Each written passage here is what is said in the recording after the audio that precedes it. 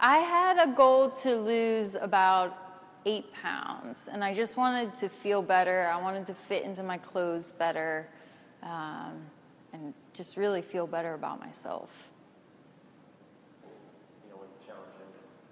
I felt great when the challenge ended. Much better than I had been feeling. My stomach was less bloated. I felt like I had more energy, and I had lost weight, so things were fitting much better.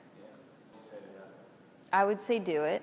You won't regret it, but you have to commit to it. And the most important thing for me was the first week I went to the grocery store, I bought everything that I needed, and I started on, I think the meeting was Friday night.